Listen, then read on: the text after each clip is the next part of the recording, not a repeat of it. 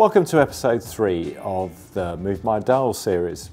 If you missed the previous episodes, then you can find them in the link below. And in the last session, we explored how a functional activity-based organisation structure causes a number of issues, including a fragmented understanding of your customer.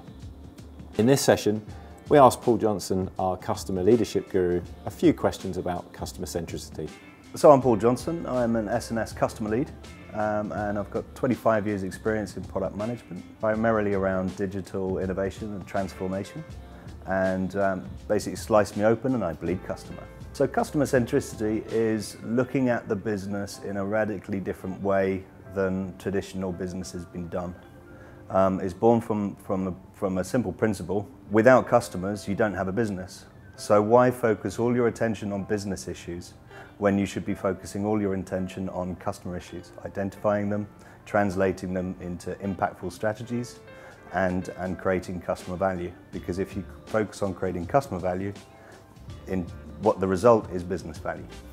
Who is the customer? I really don't like this question because I need to answer the question who is not the customer, particularly in organizations these days. Yeah, The customer is not the leadership team.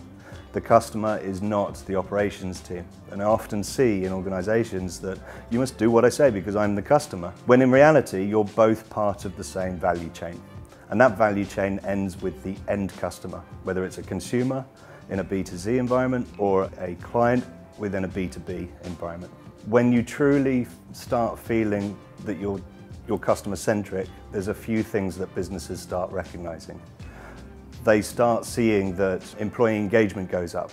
So the teams that are looking to, to identify customer problems, translate them into an understanding of customer value, turning those into things that can be delivered, and pulling that, pulling that up to the, the leadership teams, there's a whole new energy, a whole new sense of motivation that's born from bottom up rather than top down.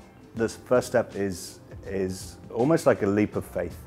You need the commitment from the leadership teams to actually take that first step. And that first step is quite a big, big one. It's a big ask.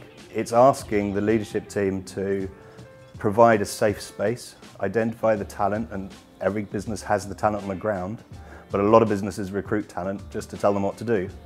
It's about taking that leap of faith to create the right safe environment, um, working in 90-day roadmap cycles, working on, on outcome-based customer value delivery um, and letting the teams see what they can do, even if they make mistakes and learn lessons from it.